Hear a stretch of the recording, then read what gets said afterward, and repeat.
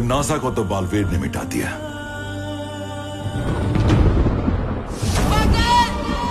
पर बुराई को नहीं। बालवीर की मौत से कोई जी उठा है। कहीं। बालवीर रिटर्न्स 2 अप्रैल रात सात बजे, सोनी सब पर।